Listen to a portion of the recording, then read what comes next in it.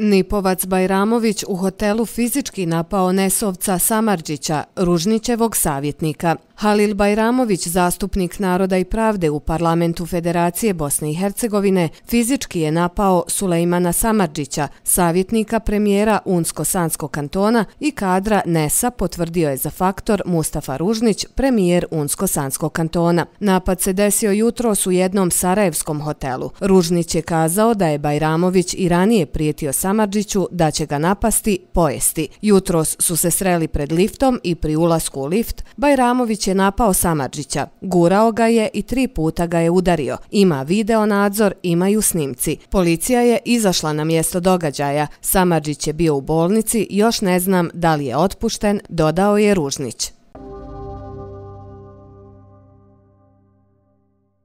Nes objavio prepisku u kojoj Nipovac Bajramović najavljuje šamaranje Samarđića. Narodni Evropski savez oglasio se povodom, kako su naveli, fizičkog nasrtaja predsjednika Naroda i pravde Unsko-Sanskog kantona Halila Bajramovića na Nesovog Sulejmana Samarđića, savjetnika premijera Unsko-Sanskog kantona Mustafe Ružnića. Građanima Unsko-Sanskog kantona današnji incident u kojem je Halil Bajramović, predsjednik NIPA Unsko-Sanskog kantona, fizički nasrnuo na Sulejmana Samarđića, savjetnika premijera Unsko-Sanskog kantona, neće zvučati iznenađujuće, jer je Bajramović oduvijek poznat po primitivnim ispadima, verbalnim sukobima i kafanskom načinu obhođenja, a poznato je da je prošle godine osuđen i na tri godine zatvora. Međutim, kako je događaj zabilježen u našem glavnom gradu i kako mu je prethodila najava na društvenim mrežama, te kako je sve uslijedilo nakon aktuelnih političkih pregleda, previranja u krajini, smatramo nužnim javno osuditi ovakav vid javnog ponašanja koji je ispod svakog nivoa osnovne kulture, navedeno je u saopćenju. Istaknuto je da će NES insistirati na tome da ovaj postupak bude krivično i pravno procesuiran, jer ni na koji način ne prihvatamo ovakav oblik ponašanja javnih zvaničnika i smatramo ga primjerom za svaku osudu. Također, nećemo dozvoliti da krajišku čast i hrabrost kaljaju kvazi političari koji tu ulogu dobijaju preko noći, upravo kako bi od krajine pravili cirkusku arenu i predstavljali ovu regiju na najprimitivniji način, saopćeno je iz Nesa. Uputili su i screenshot poruka između Bajramovića i Samadžića u kojim Bajramović najavljuje plesku. Bajramović je negirao da je bilo ikakvog napada, kazavši da su se samo porječkali, a kasnije su popili i kafu.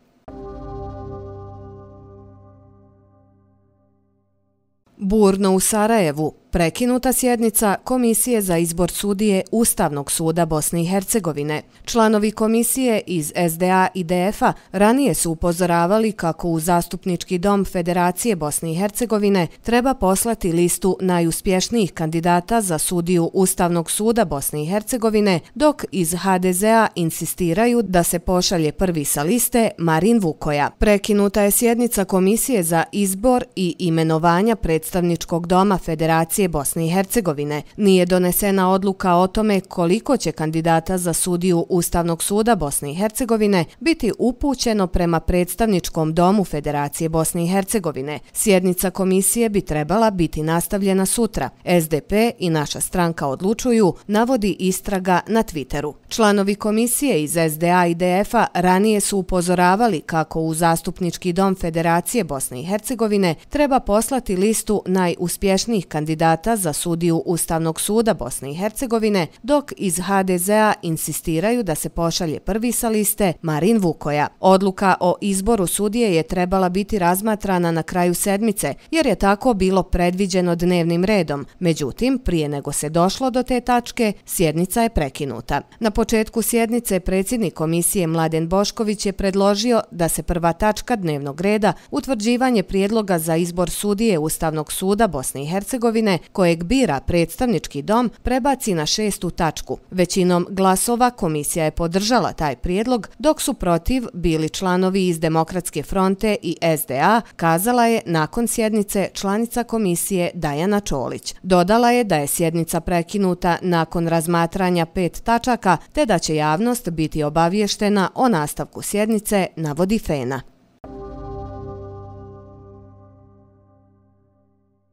Nermin Nikšić bi što prije do premijerske fotelje. Ukoliko manjina nastavi sprečavati većinu da formira vlast te samim tim ugrožavati pravni poredak, očekujemo što hitniju reakciju nadležnog organa, a to je visoki predstavnik. Nermin Nikšić, lider SDP-a Bosne i Hercegovine i mandatar za novi sastav vlade Federacije Bosne i Hercegovine, govorio je za dnevni avaz. Kaže da je za građane Federacije najvažnije da što prije dobiju vladu u punom kapacitetu i za koje stoji stabilna parlamentarna većina. Sredstva međunarodne pomoći za ublažavanje posljedica inflacije su na čekanju. Naši partneri iz Evropske unije žele saradnju sa stabilnom vlašću. To nije vlada u petoj godini tehničkog mandata mandata bez podrške parlamenta kojoj nedostaju tri ministra. Trenutna vlada više ni unutar sebe nije jedinstvena, zato je iznimno bitno da formiramo novu vladu koja će u punom kapacitetu i punom odgovornošću raditi svoj posao, kazao je Nikšić. Tvrdi da je pogubno da vlada kojom rukovodi Fadil Novalić ostane i dalje u tehničkom mandatu. Devet godina vlade premijera Fadila Novalića ostat će upamćeno po tome što se o vladi više pisalo u rubrici Crne hronike nego u svim drugim rubrikama vijesti zajedno. To je, nažalost, vlada koja nije našla odgovor ni na jednu krizu. U vrijeme COVID-19 smo bili posljednji po donošenju propisa za ublažavanje utjecaja pandemije na privredu, a i te mjere su bile uglavnom šminka i pravdanje za punjenje džepova podobnih tajkuna. Na pitanje mora li visoki predstavnik Kristijan Schmidt što prije reagirati kako bi se otklonile blokade, Nikšić je odgovorio da je njihova želja uvijek bila da većina u Federaciji Bosne i Hercegovine što prije formira vlast. Nažalost, nakon tombole u kojoj se SDA oba puta posrećilo da dobije mandat u Domu naroda Federacije Bosne i Hercegovine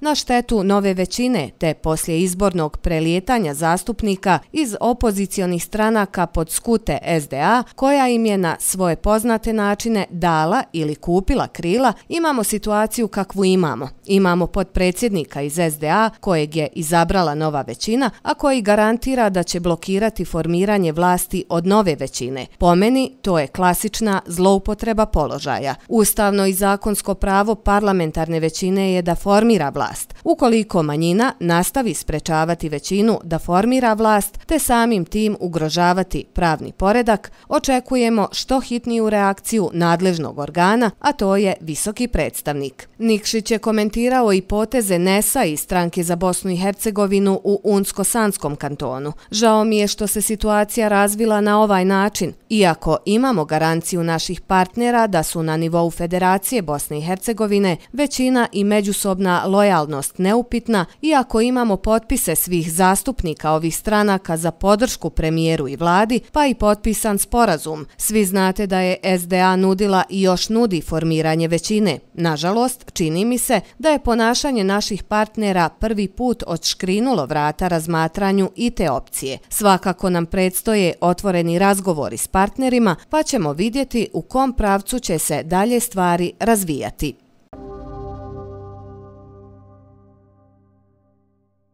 Odustanite odmah, Još jedan poziv vlasti u RS-u koju personificira Milorad Dodik da ne usvoji nacrt izmjena i dopuna krivičnog zakona RS-a. Ambasador Brian Ageler, šef misije OSCE-a u Bosni i Hercegovini, rekao je da je usvajanje nacrta izmjena i dopuna krivičnog zakona RS-a suprotno s međunarodnim obavezama Bosne i Hercegovine. Politički kontrolisane medijske organizacije svakodnevno jačaju strah i nepovjerenje dok se ne nezavisni novinari redovno suočavaju s neprihvatljivim zastrašivanjem i pritiscima koji im ograničavaju sposobnost da igraju svoju vitalnu ulogu u slobodnom društvu. Duboko smo razočarani namjerom nadležnih organa RS-a da ponovo uvedu krivično dijelo klevete u krivični zakon RS-a, kazao je Ageler u intervjuu za Buku. Kako je kazao misija OSCE-a u Bosni i Hercegovini, još jednom poziva institucije RS-a da odustanu od ove njihove ideje, te tim činom pruže podršku otvorenoj pluralističkoj raspravi koja je temeljna odlika svakog slobodnog demokratskog društva. Ovaj potez smatramo jasnim i namjernim korakom unazad, naročito ako se uzme u obzir već loše stanje slobode medija u RS-u, gdje i onako mali broj slobodnih i nezavisnih medijskih kuća djeluje u veoma nepovoljnom okruženju, kazao je šef misije OSCE-a.